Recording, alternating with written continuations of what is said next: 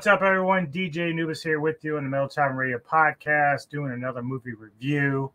This time I'm doing Project Wolf Hunting from 2022, uh, Korean film. And right now, if you have a Roku app or can get Screambox on your phone uh, app there, uh, even though they do have subscription service like Shudder, right now that movie is on there for free to stream uh, without any subscription, so you can go right in and watch it.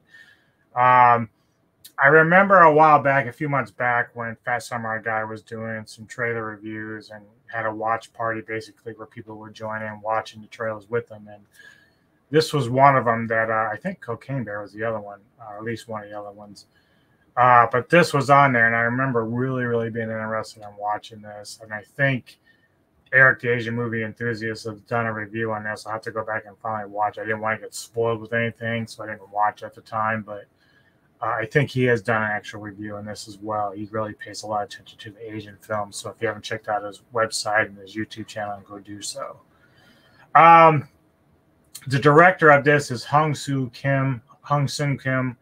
Uh, cast is Seoyeon Gook, Don Ju, uh, Don Yu Yang, and Jun So Min are your main characters there. Um, the plot is basically a bunch of criminals who are thrown on this ship, uh, cargo ship, to be transported uh, from the Philippines to South Korea as they unleash a sinister force after an escape attempt leads to a riot. So basically, we have this, uh, and here's a picture of three of our main characters here. So the guy on the left, he's he's a big part of this. One of the criminals. The guy in the middle is obviously the criminal. He's like the mastermind of the escape riot attempt and then the girl on the right, she is like one of the cops uh, put on the ship to overlook uh, the transportation of the criminals. And this is like basically the worst of the worst. These guys are like total animals. They will just kill you for nothing. They don't care. Uh, they're brutal,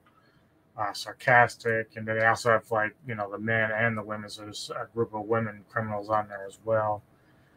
Um, so the guy in the middle, uh, the main baddie for the criminals, who's leading this uh, uh, escape attempt, um, you know, the funny thing about this movie is it's two hours long, which is pretty good for a movie like this, really. Um, so about midway through, we start losing characters that I thought that we would see towards the end of the film, which doesn't happen. So I'm like, at about the halfway mark, I'm like, wow, we still got a lot to go. So there's got a lot got to be a lot more to this movie than just just you know straight up action. And the thing is like what i thought this movie was actually going to be about and i know samurai was kind of the same way initially watching the trailer we both kind of like were feeding off the like you know name of the movie and are werewolves a part of this? I can tell you right now werewolves are not part of this film but it's certainly uh, worth your time watching because uh, the wolf part of the way wolf hunting uh, the title is thrown in there is basically just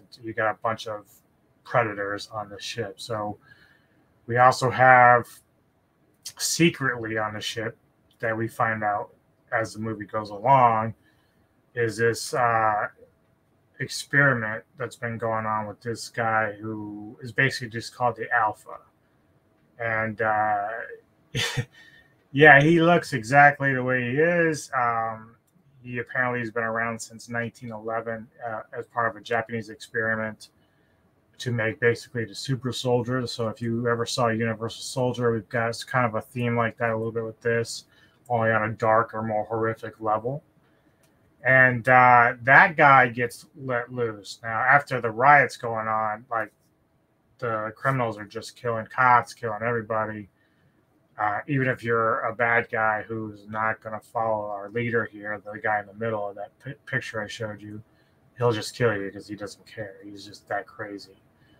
Uh, but uh, certainly the alpha gets loose and he starts kind of like waving his dick around. This guy has like superhuman strength. Uh, he can sense and hear things better than uh, anyone else on the ship just because of all the experimentation on him. Uh, like I said, super soldier type dude. Um, but as the movie goes along, we start to find out that there's more to this, like an underlying thing. So there's other people that have been experimented on uh, in our movie here that it's part of a bigger picture, bigger government conspiracy, bigger thing. Um, and so, you know, the alpha is basically just a guy that's, you know, he's the really crazy one. He's the first. Uh, but we do have other people who are have been a part of this experimentation, and we start to unravel this mystery a little bit as the movie goes along. The gore and effects are top notch. I mean, they don't hold back. They're just ripping off limbs, stabbing people in the neck, and leaving the, the, the shot on there. The blood is just galore.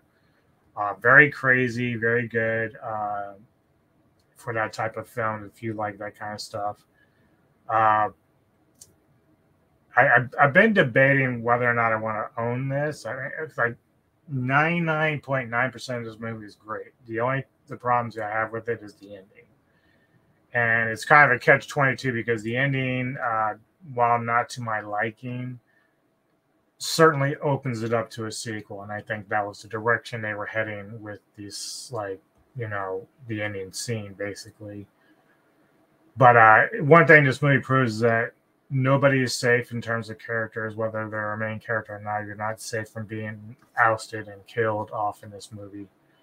Uh, I, I, think I still like it enough to probably own it. Um, but I really wish they would have done at least a little bit better conclusion with some of the stuff towards the end. I wish I would have had uh, that we didn't get. But still, very high quality movie in my opinion. Uh, I really enjoyed it.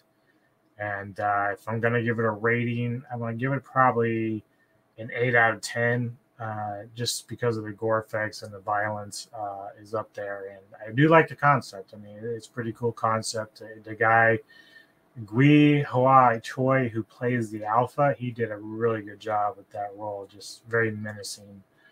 Uh, he's almost like the silent killer. He doesn't say anything, and there's some other things with him you'll see early in the film that you're gonna like, oh my god. But he's just brutal, and uh, it's crazy. Like it's a crazy movie, and uh, even though I didn't have any aspect to the werewolves, I kind of see where they were playing with the wordplay there with wolf hunting. I get it. Uh, basically, it's just a bunch of wolves fighting amongst each other uh, for supremacy, basically on this ship. And uh, yeah, it was a really good film. I enjoyed it a lot, and I highly re- recommend anybody who can who wants to watch this. It's free right now at Screambox. So, thank you for checking out this movie review. And uh, later today, Neko and I will be doing an interview with the band They. And uh, if you had heard our podcast uh, reviewing their uh, album Unspeakable from 2018, of our Classic Reflections new podcast, and uh, you'll know these are the guys we're going to talk to because they did just have a release that came out last year. We'll be talking a lot about that as well as the first album, Unspeakable, and any other projects they're involved with. So be looking for that later tonight. Um, but here, like I said, Project Wolf Hunting, check it out. Thanks for watching. Hit the like button and subscribe if you would. Share. Uh, and if you have any recommendations, man, always hit me up in the comments. Uh, and I will try to get around to checking them out, both musically and uh, movie wise. Uh, if you have anything you like, let us know. All right, all. Enjoy the rest of your day and take care of yourselves.